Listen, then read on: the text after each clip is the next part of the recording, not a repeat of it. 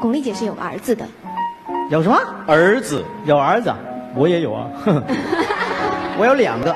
奇怪吗？巩俐姐是真的有儿子的，是活生生的人，不是卡通形象。是吗？真的。演得了潇洒女子，扮得像老实巴交的农村妇女，架得住泼辣热烈的女人。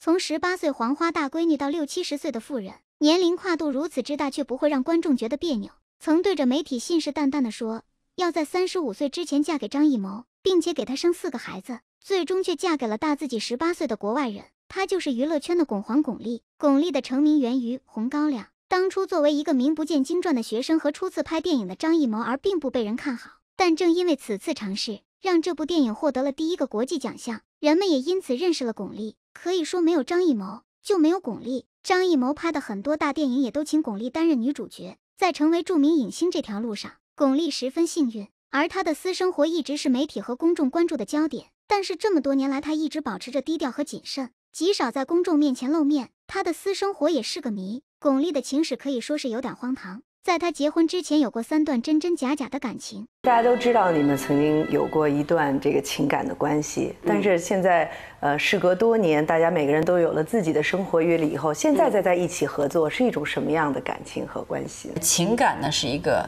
好像是一个老朋友这种情感了，就像一个很很老的很长时间的朋友。与张艺谋陷入热恋时。张艺谋已经是有妻有子的人了。虽然后来张艺谋和妻子离了婚，但张艺谋并不想和巩俐结婚。巩俐意识到自己跟张艺谋之间的爱情早已不是所谓的灵魂伴侣，而是互相利用和依赖的合作伙伴，最后只能忍痛与他分手。而巩俐和富商黄和祥在一起的十几年中，并没有太多的甜蜜和浪漫，他们更像是互相尊重和理解的朋友。如今他与法国的音乐家米歇尔不受年龄和文化的差异影响，用心去感受对方的情感和灵魂。由于对事业的执着，巩俐曾表示不想生孩子。她说：“我不想要孩子出生后和没有妈妈一样。”然而，令人感到意外的是，在一档娱乐节目上，巩俐却惊人的自曝了一个秘密：她居然有一个隐藏了三十年的儿子，而且这个儿子还是一个先天聋哑人。这个消息让所有人都震惊不已。一个顶级影后原来有一个残障儿子，那孩子是他和谁生的呢？为什么他要隐瞒三十年才公开？为什么只有我大不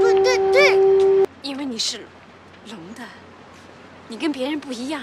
原来巩俐的这位儿子名叫高信，巩俐是在拍摄电影《漂亮妈妈》遇到这位小男孩的。虽然他听不到也说不了话，但却十分可爱，也很开朗。巩俐对他感到非常心疼，所以在电影拍摄结束后，他一直关注着这位小男孩。高信的家庭条件并不富裕，为了帮助他，巩俐决定收养高信，将他当做自己的干儿子，教他识字、说话，赞助他学费，对他的生活给予了关怀。尽管有先天的缺陷，高信却在巩俐的帮助下，加上自己后天的勤奋与努力，考上了理想的大学。巩俐也非常欣慰，她十分骄傲地说：“他是一个非常优秀的孩子。当他开口叫我妈妈的时候，我觉得这是上天赐给我的一个礼物。”巩俐说完后，眼中闪过一丝泪光。而之所以不公开，是因为他不想孩子受到媒体干扰，也不想让他承受太多的压力。他想让他有一个正常的童年，有一个自己的生活。给我看一下，妈妈。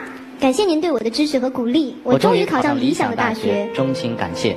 祝妈妈青春常驻，身体健康，万事如意，工作顺利。这个是就是高鑫，哎，高鑫就是巩俐姐的儿子。我拍那个《漂亮妈妈》的时候，嗯，那个小演员，嗯嗯嗯，他是听不到的，他是真正听不到。